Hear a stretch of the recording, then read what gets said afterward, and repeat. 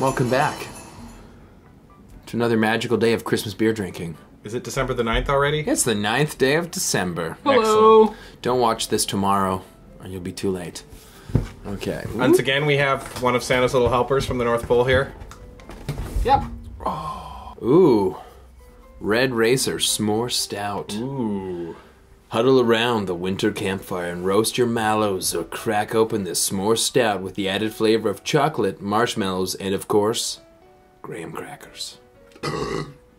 nice. Excuse It's like someone's been hitting the graham crackers already. Ingredients include natural flavors. They won't tell me which one though. So hopefully I they have will- some more. Sir, the bottle's to you. I'll just be over here. This is a uh, somewhat robust 6%.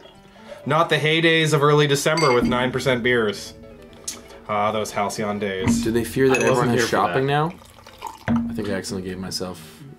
It's fine. More than you I did. don't. I don't need any more. It's okay I because don't need of, any schmore. Look at how big he is. He doesn't need yeah, that much because of camera He's trickery. little. He's a tiny man. have a tiny cup. you little shot glass sized. Cheers! Here, you've got to seem as big as possible cheersing him. There you go. Okay, we, we, we, we're here to work. We have a job to do.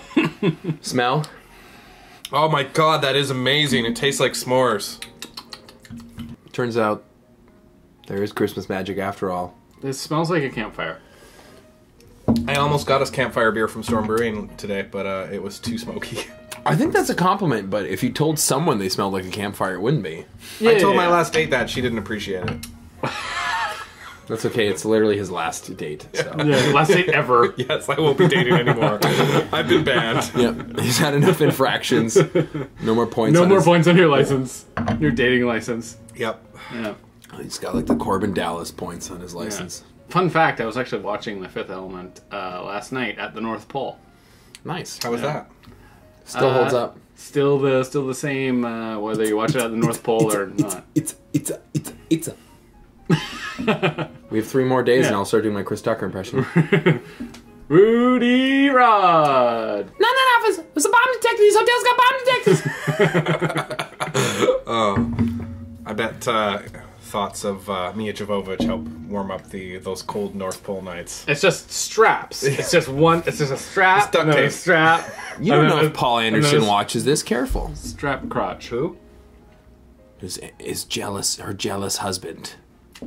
The man behind the Resident Evil series. Oh my god, she's married to a god. Actually, the last Resident Evil was really good.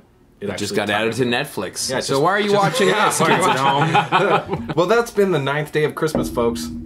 Send help. Schmore stout. Mm. Yeah, send more of those. It's good. It's tiny. Here, let me embiggen it. It's tiny back here. All right.